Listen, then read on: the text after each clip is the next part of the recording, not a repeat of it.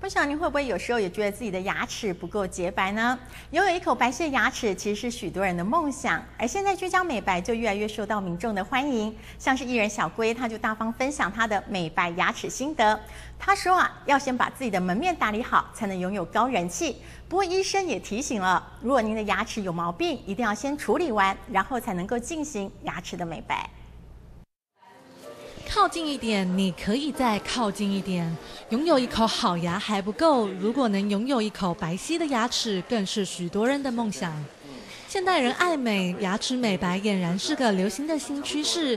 不过牙医生也提醒了，在美白前，首先要将牙齿的毛病治疗好才行。你希望把牙齿看起来更漂亮？然后笑容更有阳光般的笑容的话，我们都可以建议做美白。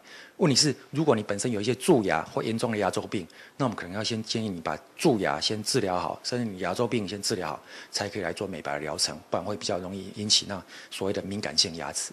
然而，除了传统的镭射美白、冷光美白，现在居家美白也越来越受民众欢迎。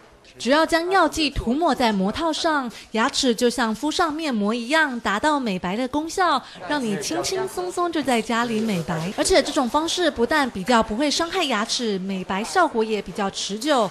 不过医生也提醒，美白的过程必须避免咖啡、咖喱等易染色食物，并且遵照医生的指示。我们会希望你尽量不要吃一些染色的东西，譬如说咖啡、茶、咖喱。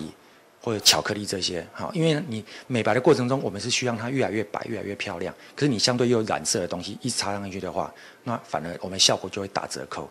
艺人小辉现身说法，大方分享美白牙齿心得。他表示，对于艺人来说，门面真的非常重要，不管是拍照、唱歌、主持等等，都需要露出牙齿。如果一开口就被发现是黄板牙，那么对艺人的形象可是大大扣分。娱乐演艺工作嘛，但其实门面很重要。